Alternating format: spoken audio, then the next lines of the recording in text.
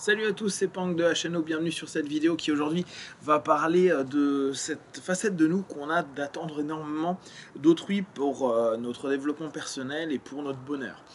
En règle générale, on s'aperçoit souvent que euh, les personnes qui viennent en cabinet ont une grosse attente de la part des praticiens, leur conférant dès lors un pouvoir qui est quand même hyper important, qui est celui de vous allez être mon sauveur, vous allez être celui qui va permettre que j'aille mieux dans mon quotidien.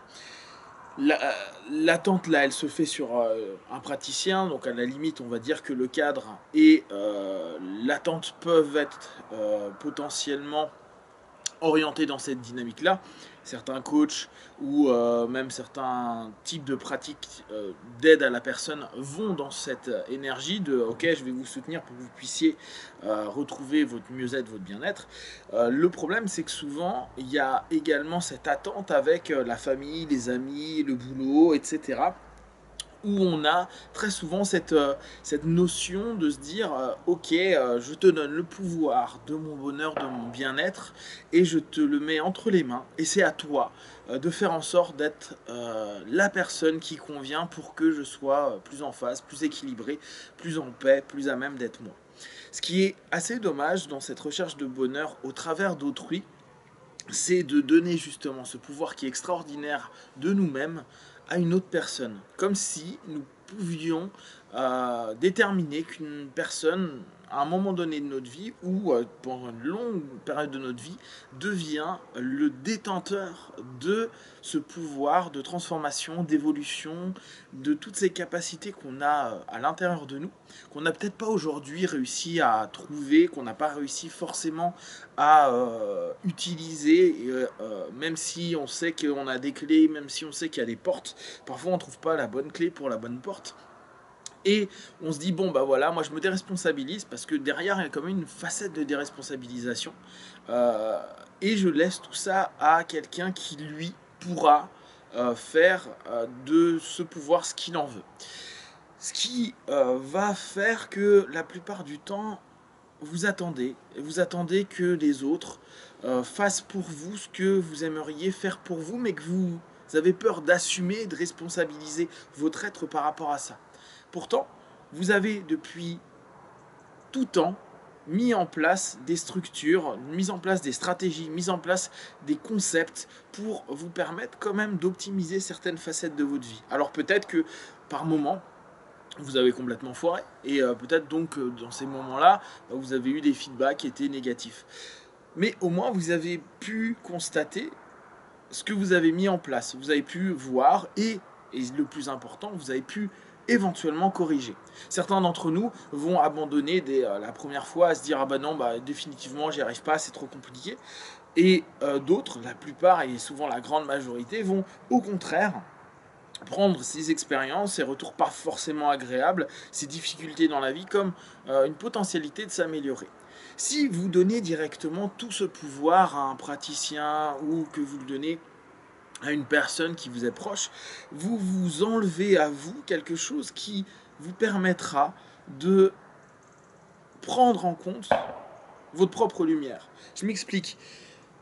Souvent en thérapie, on va dire attention, ce n'est pas moi praticien qui va faire votre bonheur, c'est pas moi qui euh, vous trouve une solution, c'est pas moi qui fait que vous alliez mieux. C'est moi qui vais servir d'outil de transition pour vous permettre d'observer, de voir et de comprendre ce que vous êtes en train de vivre, comment et comment le corriger.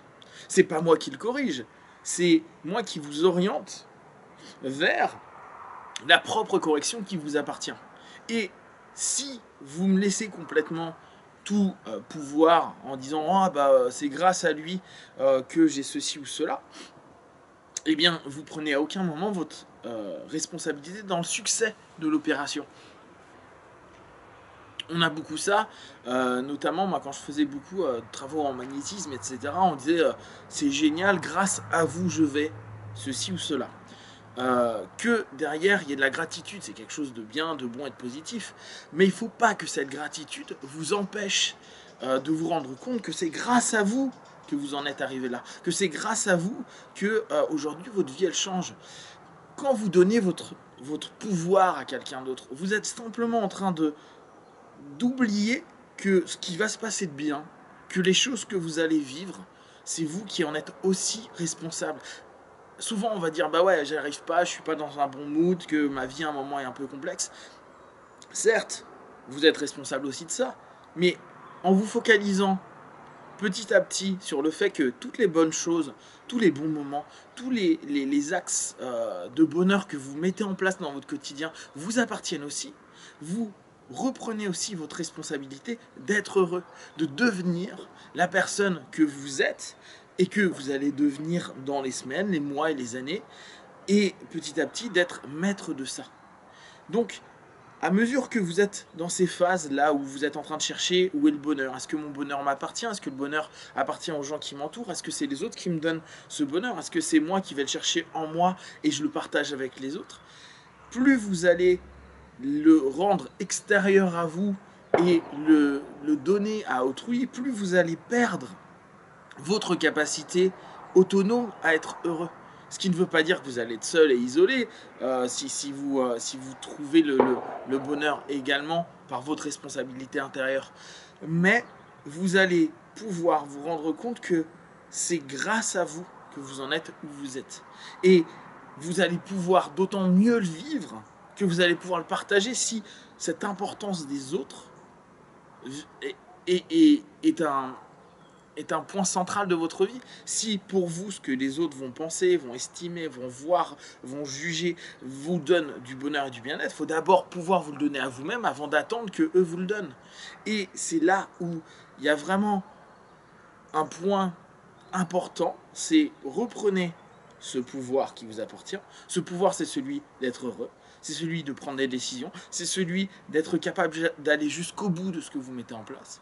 Et à partir du moment où vous reprenez ce pouvoir-là et que vous ne laissez pas ni un praticien, ni des potes, ni de la famille euh, en devenir le détenteur, vous allez prendre petit à petit conscience des petites choses dont vous êtes capable, des petites choses que vous avez déjà réussi.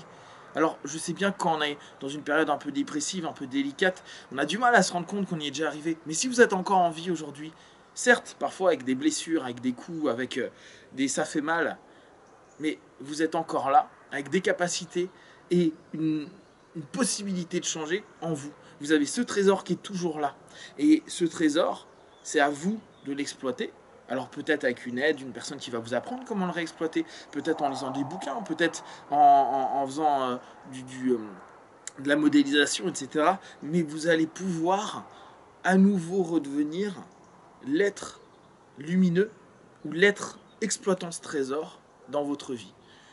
Et comme ça, vous allez réellement vous reconstruire, évoluer et reprendre conscience de tous ces petits bonheurs qui croisent votre vie, que vous mettez en place et qui vous appartiennent. Et que ce n'est pas les autres qui vous l'ont autorisé, mais vous-même qui vous l'êtes autorisé. Et à partir de là, petit à petit, vous autorisez d'être vous, vous autorisez d'être heureux et vous autorisez d'évoluer, d'avancer au quotidien.